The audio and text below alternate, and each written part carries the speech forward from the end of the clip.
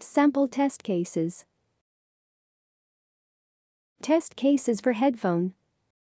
Test cases for headphone. In this video we will cover maximum test cases for headphone. In this video we will discuss 1 UI test cases for headphone, 2 functional test cases for headphone, 3 negative test cases for headphone.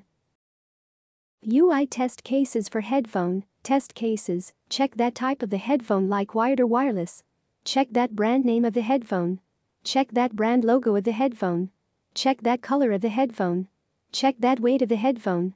Check that batteries are required or not. Check that connect type of the headphone. Check that price of the headphone. Check that material of the headphone. Functional test cases for headphone, test cases, verify that the build quality of the headphone. Verify that sound quality of the headphone is as expected or not. Verify that sound quality when headphone on high volume. Verify that sound quality when headphone on medium volume. Verify that sound quality when headphone on low volume. Verify that user is able to volume increase or not. Verify that user is able to volume decrease or not.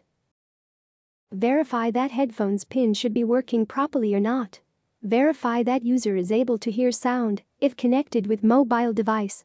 Verify that user is able to hear sound if connected with laptop device. Verify that next or previous button is available or not. Verify that minimum bass quality for the headphone. Verify that maximum bass quality for the headphone. Negative test cases for headphone, test cases, verify that headphone is damaged or not. Verify that headphone is waterproof or not. Verify that headphone conditions in different seasons.